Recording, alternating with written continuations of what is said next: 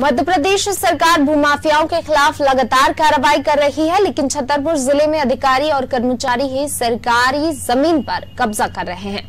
ये हम नहीं Chandra Nagar higher secondary school में पदस्थ प्रिंसिपल ए एन राय के वायरल ऑडियो से सामने आया है, जिसमें वो अतिक्रमण को लेकर एक युवक से चर्चा कर रहे हैं। दरअसल सीएम हेल्पलाइन नंबर पर चंद्र नगर गाँव के बालकिशन विश्वकर्मा ने शिकायत की थी, जिसमें उन्होंने कहा था कि शासकीय उच्चतर माध्यमिक विद्यालय की शासकीय भूमि पर अतिक्रमण हो रहा है और जब इस मामले को लेकर ए एन राय से शिकायतकर्ता ने चर्चा की तो प्रिंसिपल ने सीएम हेल्पलाइन में शिकायत न करने की बात करते नज़र आए। इसके साथ ही कहा कि आपका भी कब्जा है, उन्होंने भी कब्जा किया है। फ़िलहाल मामले की जानकारी सामने आने के बाद एसडीएम ने जाँच के बाद दोषी के खिलाफ सख्त कार्रवाई की बात कही है।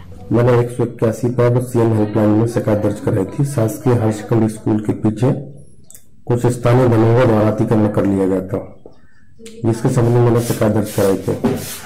जब मैंने वहाँ पे प्रिंसिपल प्रचार से संपर्क किया तो उन्होंने साफ़ सीधे शब्दों में बोल दिया तो सीएम हेल्पलाइन को फांसी की सजा नहीं है।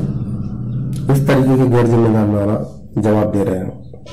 एक तरफ़ प्रदेश के मुख्यमंत्री एंटी माफिया के लिए बड़े बड़े मंचों से कहते हुए नज़र आते हैं कि माफिया कोई नहीं बचेगा, माफिया के ऊपर कड़ी से कड़ी कार्रवाई होगी। तो एक तरफ़ उनके जिम्मेदार अधिकारी इस तरीके का जवाब देते हैं, जो जनता में निराशा पैदा हो रही है।